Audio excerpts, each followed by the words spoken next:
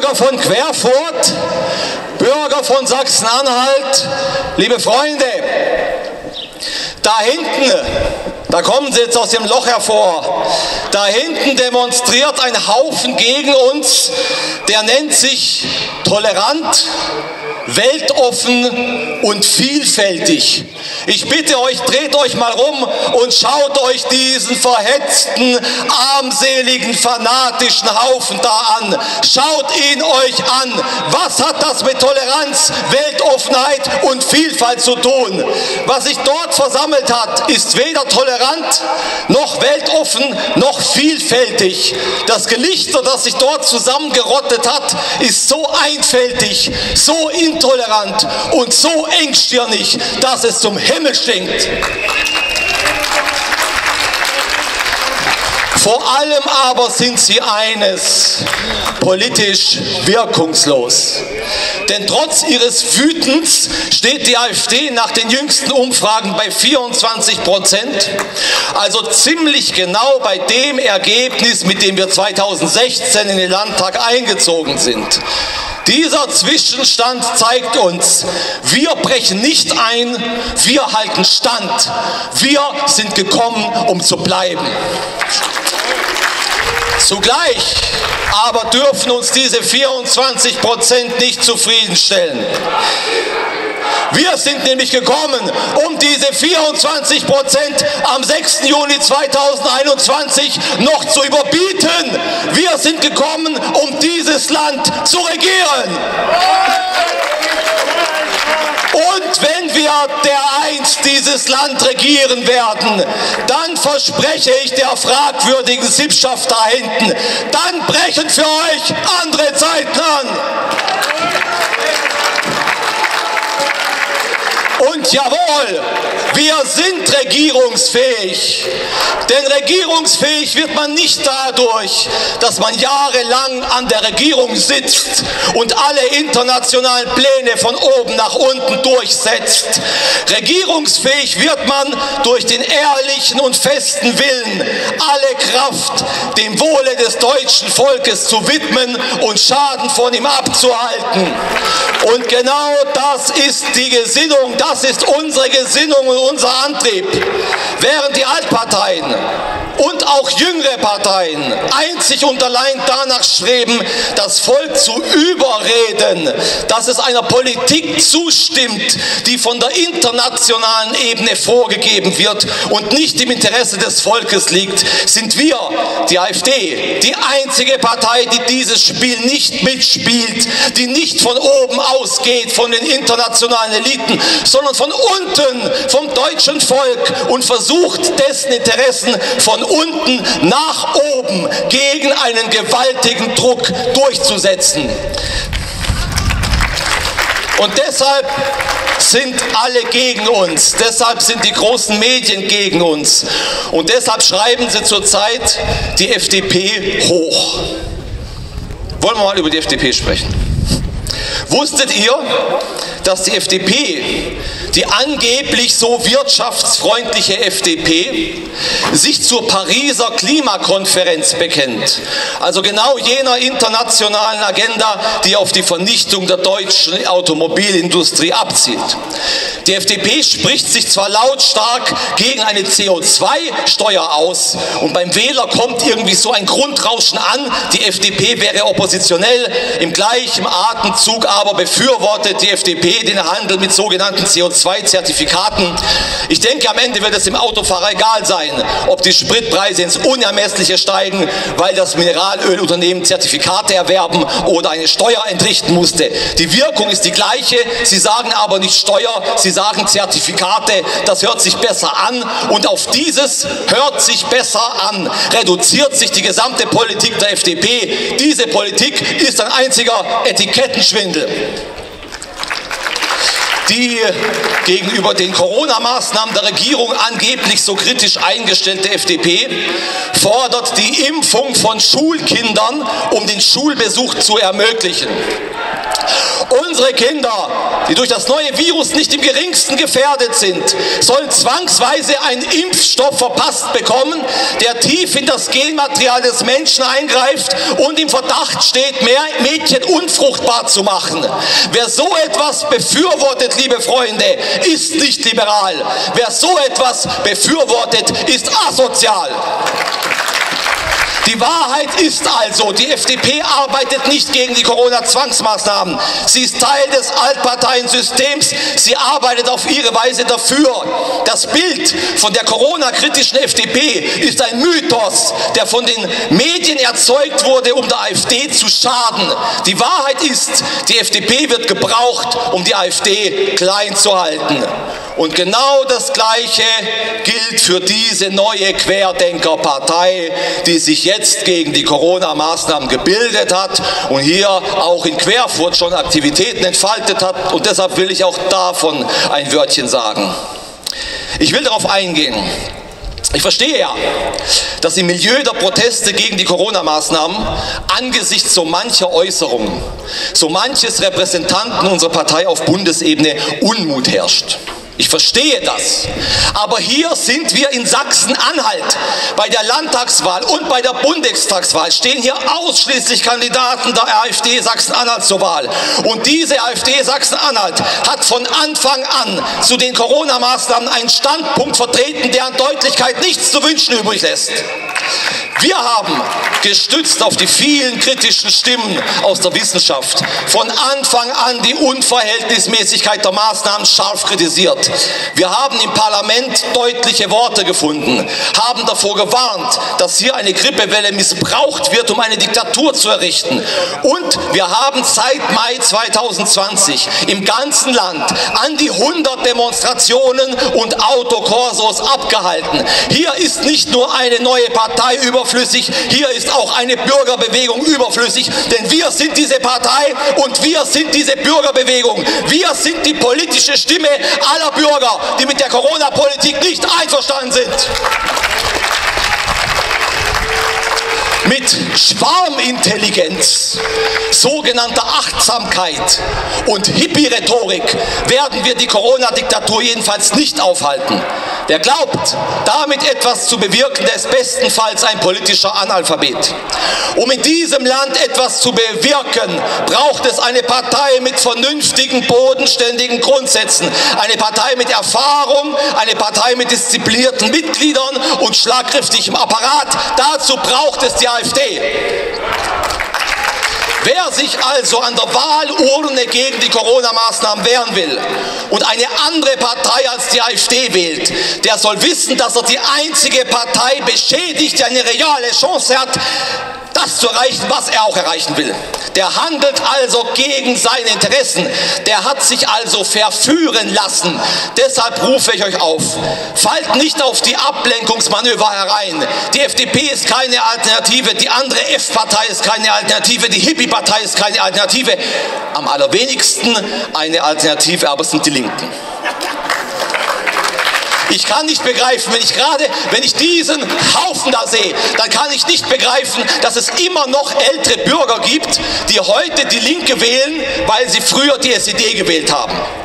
Die DDR war eine Diktatur, ja. Ich will das nicht beschönigen, aber eine Diktatur, in der die Menschen normal sein durften. Eine Familie bestand aus Vater, Mutter und Kindern. Der Staat förderte eben diese normalen Familien. Die Gastarbeiter waren noch echte Gastarbeiter, das heißt, sie mussten arbeiten und verließen das Land, wenn die Zeit ihres Aufenthalts vorbei war. Die Schulen funktionierten nach dem Leistungsprinzip, wonach sonst. Und der Staat war stolz auf seine Automobilproduktion, wenn man das aus heutiger Sicht auch nur schwer versteht verstehen kann und hätte gerne mehr produziert, war dazu aber nicht in der Lage. Heute wollen die Linken ohne Beschränkung Fremde ins Land holen die nicht arbeiten und trotzdem nie wieder gehen müssen. Sie wollen Schulnoten abschaffen und die normale Familie auflösen. Sie wollen Kindergartenkinder über alle Geheimnisse schwul-lesbischen Sexuallebens aufklären und zu allem Überfluss das Automobil abschaffen und das in einem ländlich geprägten Bundesland, wo die meisten Bürger das Automobil brauchen, um jeden Tag zur Arbeit zu fahren. Die Linken heute, die Linken heute wollen also immer noch eine Diktatur wie die SED. Sie wollen aber keine Diktatur mehr, in der wir normal leben können. Sie wollen eine Diktatur, die uns zwingt, abnormal zu leben. Die Linken wollen die Diktatur der Perversität. Die Linke macht keine Politik mehr für die normale, nach Arbeit und Wohlstand strebende Bevölkerung. Die Linke macht Politik für Taugenichtse, die in Großstädten leben, die Universitäten bevölkern, ohne etwas zu lernen, keine größere Sorge kennen, als dass der Handel mit Cannabis freigegeben wird, sich den ganzen Tag mit ihrer sexuellen Orientierung beschäftigen und mit Deutschland nichts anzufangen wissen. Und genau diese Klientel steht da hinten. Schaut sie euch noch mal an. Bürger von Sachsen-Anhalt, ich kann euch nur aufrufen, wählt diese Typen ab und legt ihnen das Handwerk, bevor es zu spät ist. Vor allem aber glaubt auch der CDU kein Wort mehr. Ich habe erlebt, wie in Gerbstedt, in Mansfeld-Südharz, nicht weit von hier, durch den CDU-geführten Stadtrat im intriganten Zusammenspiel mit dem CDU-geführten Bildungsministerium zwei Schulen förmlich kaputtgeschlagen wurden. Die AfD-Fraktion hat die Elterninitiative mit aller Kraft unterstützt. Ich war bei fast jeder Gemeinderatssitzung als Gast dabei. Wir haben im Landtag gekämpft und über 4000 Euro aus eigener Tasche für die Anwaltskosten gespendet. Es gab Teilerfolge vor Gericht, aber am Ende war es vergeblich. Die Schulen wurden geschlossen, einfach weil es der Wille der CDU war, die Schulen platt zu machen. Und diese CDU, die das zu verantworten hat, macht jetzt Werbung mit dem Plakatspruch Wohnordner Schulen erhalten. Das ist der Gipfel der Unverschämtheit. Und die Wut wegen dieses Plakats ist unermesslich. Zu Recht. Und diese Wut wird sich am 6. Juni niederschlagen im hoffentlich mit Abstand schlechtesten Wahlergebnis, das die CDU in Sachsen-Anhalt jemals eingefahren haben wird. Das Tückische an der CDU ist, dass einiges in ihrem Programm ja ganz vernünftig klingt. Anderes wieder klingt seltsam und irgendwie linksgrün. Um das Programm der CDU richtig zu verstehen, braucht man deshalb eine Auslegungsregel und diese Regel geht so. Alles, was die CDU sagt und was gut, konservativ und vernünftig klingt, das sagen sie zwar, machen es aber nicht. Und alles, was die CDU sagt und was pervers und grün klingt, das sagen sie nicht nur, das sagen sie und das werden sie ganz sicher auch tun. Deshalb Finger weg von der CDU. Und jetzt zu dem, was wir wollen, was die AfD will. Wir wollen zum Beispiel, dass die Entscheidung, ob sich jemand gegen das neue Covid-19-Virus impfen lassen will, frei bleibt. Es gibt überhaupt keinen vernünftigen Grund, jemanden zur Impfung zu zwingen, denn wer einer Risikogruppe angehört, wird sich schon freiwillig impfen.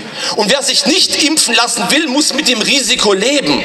Ich schätze übrigens das Risiko, durch eine Impfung Schaden zu nehmen, als höher ein als durch eine Infektion, weshalb ich mich nie impfen lassen werde.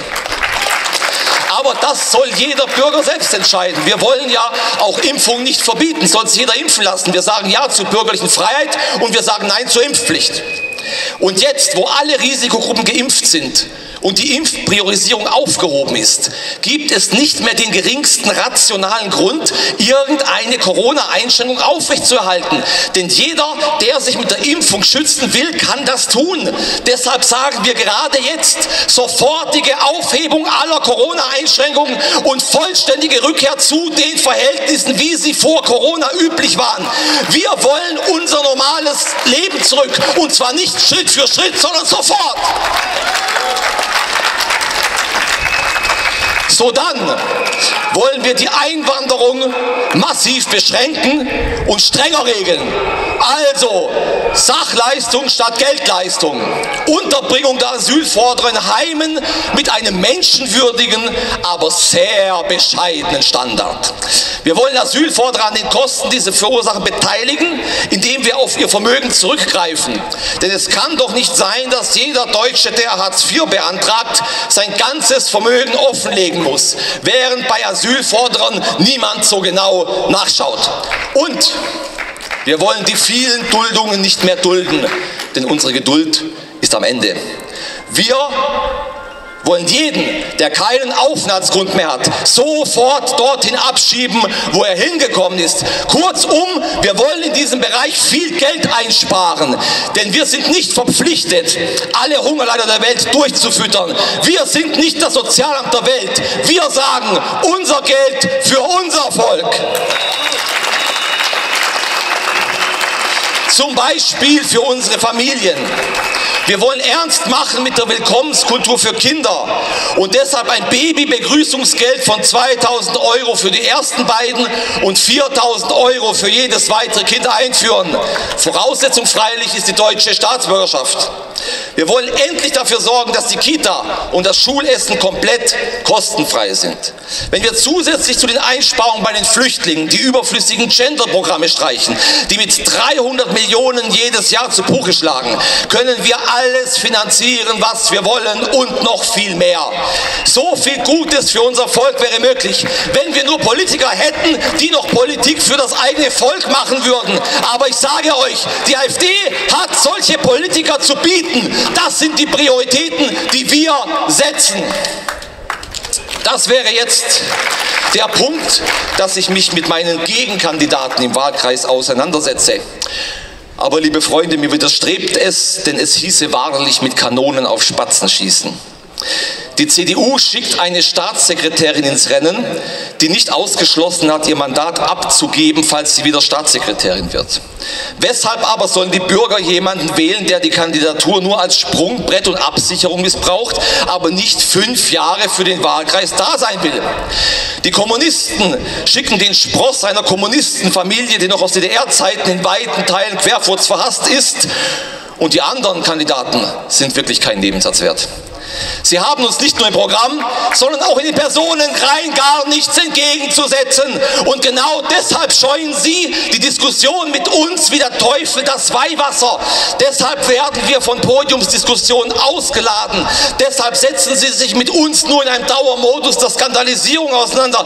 Deshalb malen die Dumpfköpfe da hinten den bösen AfD-Nazi an die Wand, damit ja kein Bürger auf die Idee kommt, sich sachlich mit uns auseinanderzusetzen. Fallt nicht darauf herein. Lasst euch nicht einschüchtern, habt Mut, euch eures eigenen Verstandes zu bedienen.